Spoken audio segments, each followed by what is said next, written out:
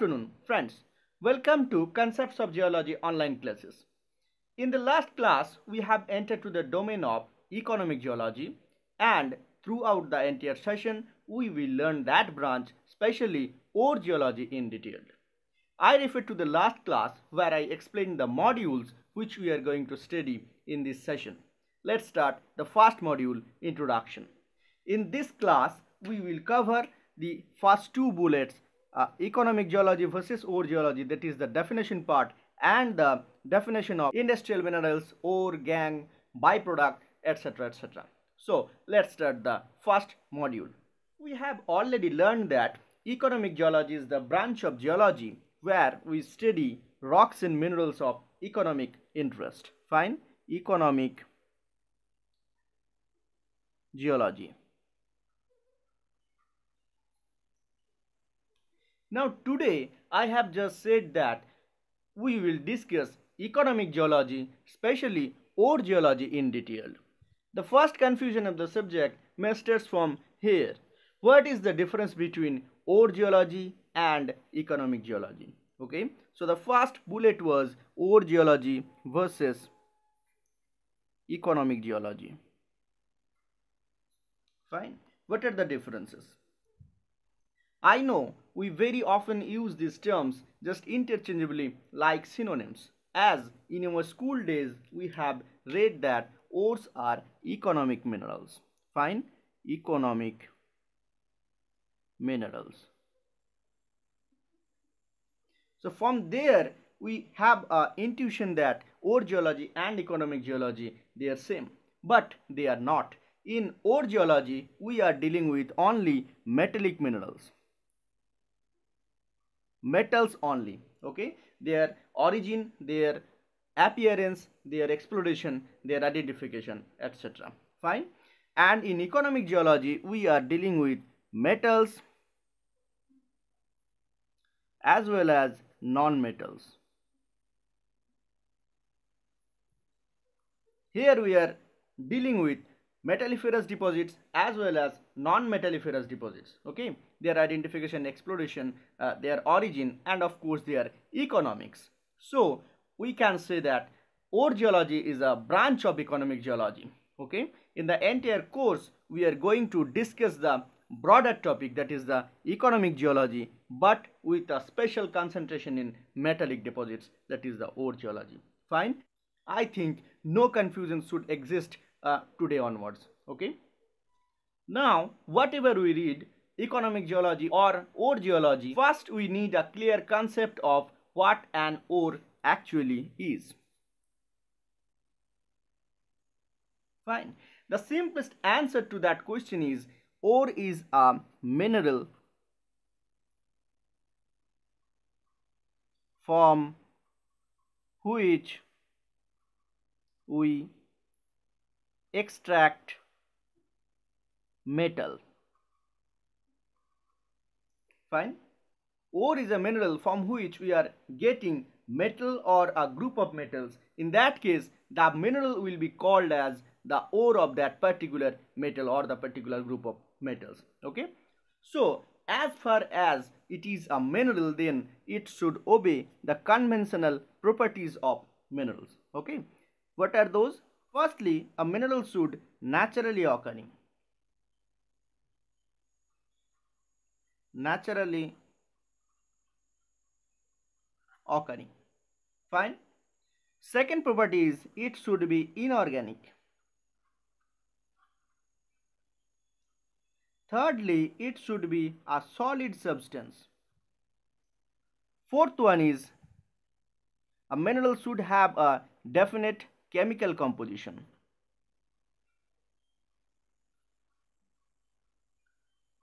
Chemical composition. Okay? And the last one the number fifth is it should have a definite atomic structure. Okay? Any amorphous substance cannot be a mineral. So at the beginning it is very clear that suppose oil coal or suppose limestone or suppose uh, fire clay.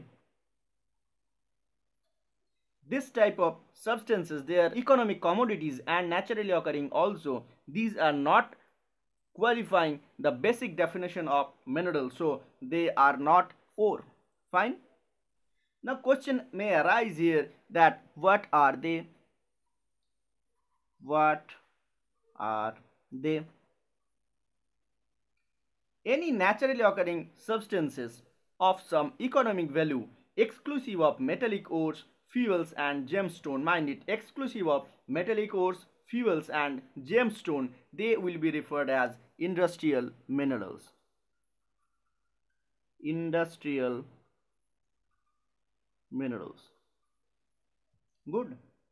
So if i uh, exclude oil and coal from the list we will have a list of industrial minerals okay? So suppose uh, rock such as uh, limestone granite or suppose material like sand gravel or um, kaolinite barite fluorite this kind of materials will be called industrial minerals. Fine? Okay very good.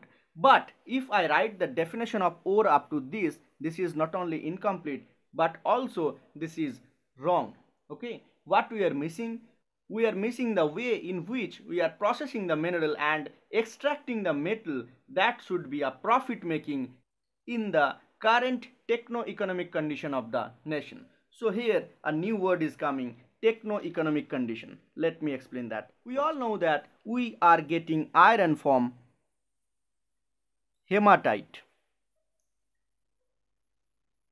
Fine, hematite is the ore of iron. Okay, but the laterite, that is the red soil or rock which we are uh, getting in the surface, that is also enough enriched in iron. That is why it is that much of reddish. Even you do not believe, uh, many countries import laterite, but we are using this laterite as just road material. Why? Because we do not know the technology by which we can extract the iron from laterite in an economic that means a profit making way. Economic way. Okay so in the definition of ore we are getting one thing that the way by which we are extracting the metal from that mineral that should be profit making that should be economic. Okay the same is true for aluminium also. The ore of aluminium is bauxite but you know the felsic rocks or suppose the mud which is available in the surface that is also uh, enough enriched in aluminium. But we do not know the technology by which we can extract that aluminium from the felsic rock or from the mud. So those are not qualifying as the ore of aluminium and we are searching for bauxite which is found in top of hills in harsh condition as an ore of aluminium. Fine. So in the definition of ore we are getting two factors Firstly, the economic factor. Second one is technical factor.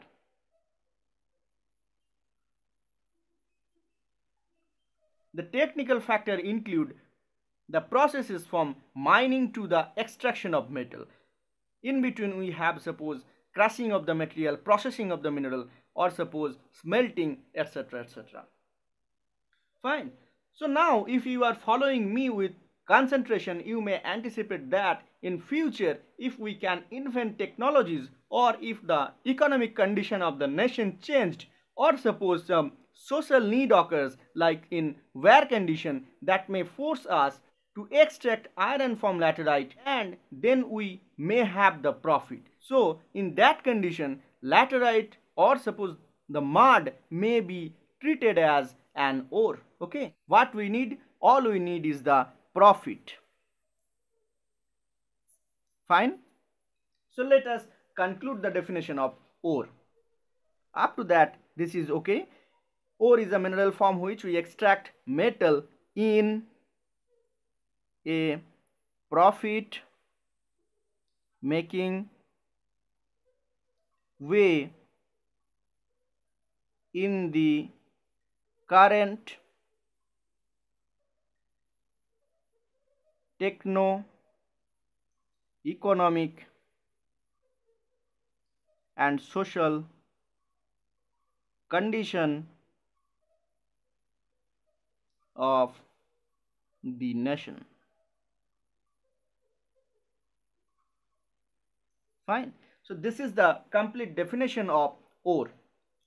Now let's move to the next point. Okay. To get an ore, we need to mine it. Where we get a concentration of ore in nature, we call it as ore body. Fine. It is what? Concentrated ore in nature. Okay.